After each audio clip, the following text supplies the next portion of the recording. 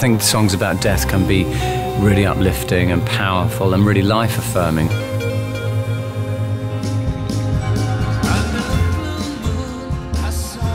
It's just lovely to find kind of comfort and security in sorrow, in sadness, in loss, but also the kind of optimism that that can also engender. Here I go, out to sea again.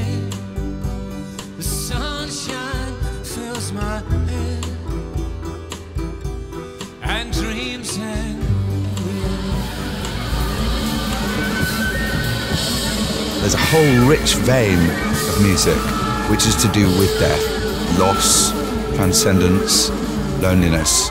And so Death Songbook was born.